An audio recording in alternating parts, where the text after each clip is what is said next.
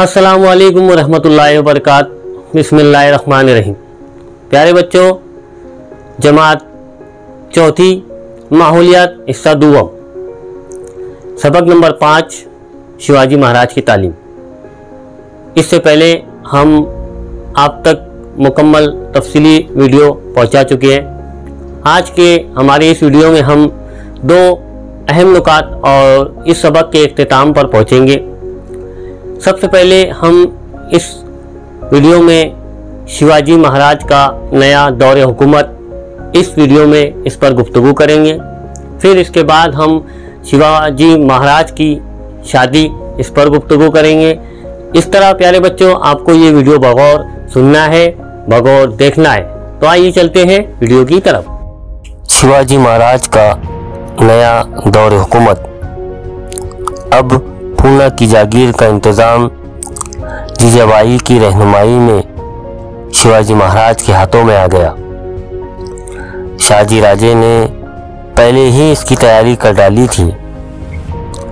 शिवाजी महाराज को बंगलुरु से पुनः रवाना करते हुए इन्होंने साम्राज्य, नीलकंठ, पेशवा, बालकृष्णन, हनुमंते, मुजुमदार मानकोजी धातोंडे सनोबत, रघुनाथ, बल्ला, रवसिंह, सोनूपंत डबीर जैसे काबिल अहदेदारों को शिवाजी महाराज के साथ भेजा, ताकि शिवाजी महाराज अपनी जागीर का इंतज़ाम बेहतर तौर पर कर सके।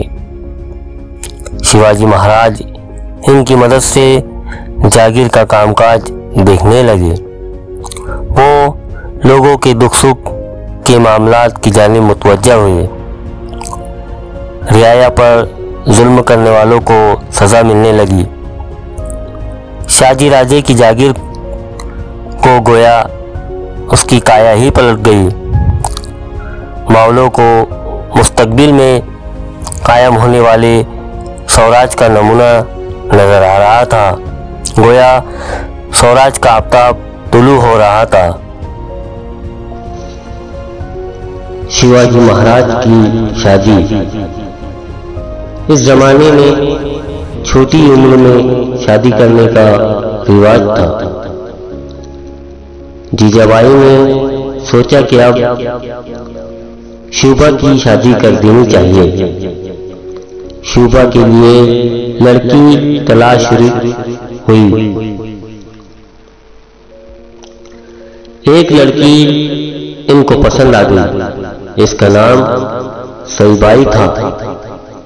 वो फलटन के नायक निम्बालकर घराने की लड़की थी। ये शादी बड़ी धूमधाम और शान शौकत के साथ हुई।